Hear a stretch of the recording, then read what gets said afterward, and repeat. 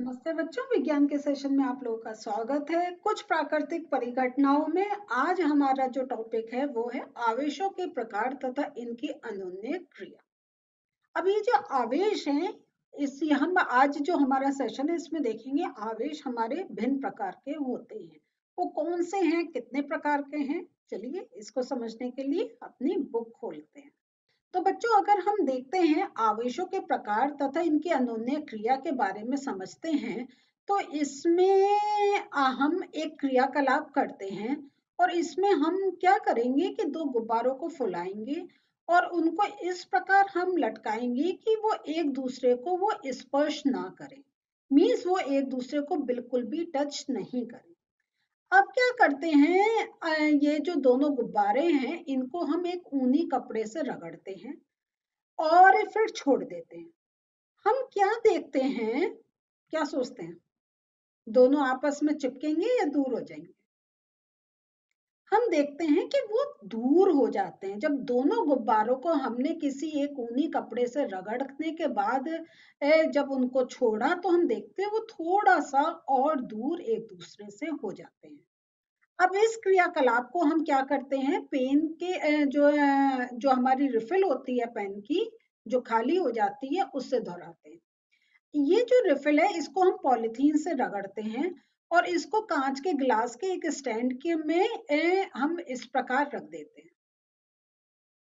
ठीक है? अब क्या करते हैं हम लोग? और जो दूसरी रिफिल है उसको भी हम पॉलीथीन से रगड़ के जो पहले रिफिल रखी है उसके पास लेकर जाते हैं। लेकिन जैसा आपसे हमने पहले भी कहा था कि जो चीज़ हम जिस साइड से रगड़ रहे हैं वो ही दूसरे के एक दूसरे के आमने सामने आने चाहिए। और हमें उनको टच भी नहीं करना चाहिए। अब ये सब क्यों नहीं करना चाहिए, ये हम आपको तो बाद में बताएँगे। अभी एक्सपेरिमेंट है, क्योंकि एक एक स्टेप करके समझ रहे हैं तो हम आपको ऐसे ही समझा रहे हैं। अब हम जब देखेंगे तो जब हम वो कांच की रिफिल जो पहले से एक रब करके हमने एक उसमें रख दी है, जब हम वो कांच के ग्लास के अंदर, जब हम दूसरी रिफिल उसके पास लेकर आते हैं, वही सेम प्लास्टिक से रगड़ने के बाद हम देखते हैं ये रिफिल भी आपस में एक थोड़ी सी दूरी ले लेती हैं वो चिपकती नहीं है। तीसरा हम लोग ये करते हैं, अब हमने एक जो ये कांच की ग्लास में जो हमने रिफिल रखी थी, वो हम रब करके रखते हैं और एक जो गुब्बारा यहाँ वाला था, उसको भी रब करके हम जब इसके पास लाते हैं, तब हम देखते हैं कि जो गुब्बारा है, ये कांच की रिफिल की तरफ़ थोड़ा सा अट्रैक्ट हो जाता है। तो ये जो प्रेक्षण है, इसमें हम, ये आपके यहाँ लिखे हुए हैं कि एक आवेशित गुब्बारा दूसरे आवेशित गुब्बारे को प्रतिकर्षित करता है। इसी प्रकार जो आवेशित रिफिल है, वो भी आवेशित रिफिल को प्रतिकर्षित करती है, लेकिन जो आवेशित गुब्बारा है, वो आवेशित रिफिल को आकर्षित करता है। तो इससे हमें क्या पता चलता है? कि दोनों पे जो चार्ज है, जो आवेश आया है, वो भिन्न है। क्योंकि हम जानते हैं जो भिन्न चार्ज होता है, वो एक आकर्षित करता है और जो सेम चार्ज होता है, वो एक दूसरे को प्रतिकर्षित करता है, जैसे मैग्नेट का हम जानते हैं। तो यहाँ पे अब हमें ये जो हमने रब करा और ये जो एक्सपेरिमेंट्स करे, इससे हमें ये पता चल गया कि आवेश जो हैं, वो दो प्रकार के होते हैं। और हम ये भी कह सकते हैं कि सजातीय एक ही प्रकार के आवेश एक दूसरे को प्रतिकर्षित करते हैं और जो विजातीय हैं भिन्न प्रकार के आवेश वो एक दूसरे को आकर्षित करते हैं। अब अगर हम देखते हैं एक हमारा जो ए, हमारे साइंटिस्ट लोगों ने जो एक्सपेरिमेंट्स करे उसके आधार पे ये देखा गया कि जो रेशम के से रगड़ने पर कांच की छड़ द्वारा अर्जित आवेश को धनावेश कहते हैं। तो जो कांच की छड़ जो हम रेशम के पर रगड़ रहे हैं, उस पे जो आवेश आता है कांच की छड़ पे, वो धन आवेश होता है। और जो दूसरा जो आवेश होता है, वो ऋण आवेश होता है। ये एक मान्यता है। तो इसमें और ये सारे एक्सपेरिमेंट से प्रूव हुई है। और डिटेल में जाना चाहते हैं तो आपको थोड़े सीनियर क्लासेस में इसको और डिटेल में समझ में आएगा, लेकिन अभी आप इसको मान के चलिए। और ये देखा गया कि जब आवेशित कांच की छड़ को पॉलिथीन से रगड़े हुए आवेशित प्लास्टिक स्ट्रॉ के निकट लाते हैं तो दोनों के बीच आकर्षण होता है। तो मीन्स जब हम आवेशित कांच की छड़ को आवेशित प्लास्टिक स्ट्रॉ के निकट लाते हैं तो दोनों के बीच में आकर्षण होता है। तो अब आप एक आइडिया लगा सकते हैं कि जो प्लास्टिक स्ट्रॉ पर कौन सा आवेश होगा? बिल्कुल ठीक, उस पर जो आवेश होगा, वो ऋणावेश होगा, क्योंकि हम ये जानते हैं कि जो कांच की छड़ है, उस पर धनावेश है और वो अट्रैक्ट हो रहा है। तो इसका अर्थ है कि जो प्लास्टिक स्ट्रॉ होगी, उस पर क्या होगा? आपका ऋणावेश होगा। क्योंकि दोनों आपस में अट्रैक्ट कर रहे हैं तो ये मैं मार्क कर दे रही हूँ, आप इसको और भी पढ़ के देखिएगा। रगड़ने पर उत्पन्न जो विद्युत आवेश स्थैतिक होते मीन्स जब हमने दो चीज़ों को आपस में रगड़ा तो उस पर जो आवेश आया, वो स्थैतिक होता है। वे स्वयं गति नहीं करते हैं।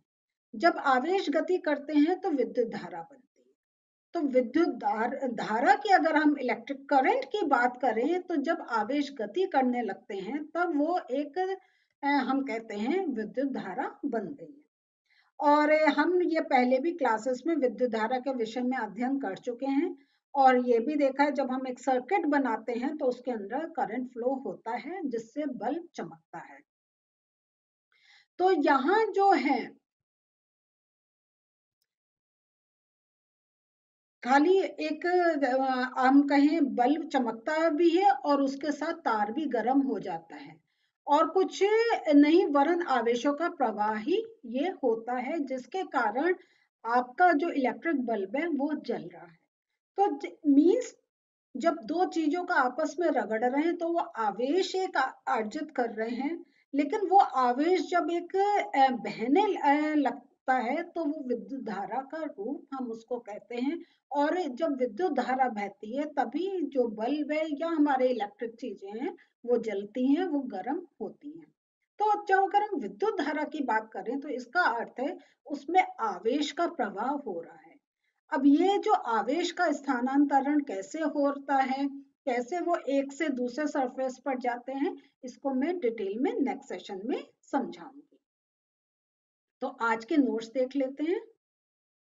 तो आवेशों की प्रकृति की बात करें तो सजातीय एक ही प्रकार के आवेश एक दूसरे को प्रतिकर्षित करते हैं, जबकि विजातीय भिन्न प्रकार के आवेश एक दूसरे को आकर्षित करते हैं। रगड़ने पर उत्पन्न विद्युत आवेश स्थैतिक होते हैं, वे स्वयं गति नहीं करते हैं।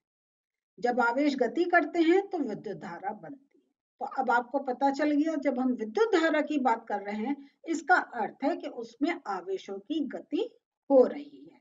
तो जैसा हम देखते हैं कि पहले हम एक सिंपल कॉन्सेप्ट लेते हैं, फिर धीरे धीरे उसका डिटेल में समझते हैं। तो आपने पहले क्लास में एक विद्युत धारा के बारे में पढ़ा, अब आपको पता चल रहा है कि विद्युत धारा का अर्थ क्या है कि उसके अंदर आवेशों की गति हो रही है। तो बच्चों, आज जो हमने पढ़ा है, इसके मैंने नोट्स भी आपको दिखाए और आपको ये भी पता चल गया कि किस प्रकार दो प्रकार के चार्ज होते हैं, एक पॉजिटिव एक नेगेटिव और जो आपके अपोजिट चार्ज होते हैं, वो एक दूसरे को अट्रैक्ट करते हैं, और जो सेम चार्ज होते हैं, वो एक दूसरे को रिपेल करते हैं, एक दूसरे को दूर करते हैं। तो अगर पॉजिटिव पॉजिटिव सामने आएगा तो वो दूर होंगे नेगेटिव नेगेटिव सामने आएगा, वो दूर होंगे, लेकिन पॉजिटिव और नेगेटिव जो आमने सामने आएँगे, वो एक दूसरे को अट्रैक्ट करते हैं। तो धीरे धीरे हम चैप्टर में आगे चल रहे हैं। नेक्स्ट हमारा जो सेशन होगा, इसमें नेक्स्ट टॉपिक लेंगे। मिलते हैं फिर से। बाय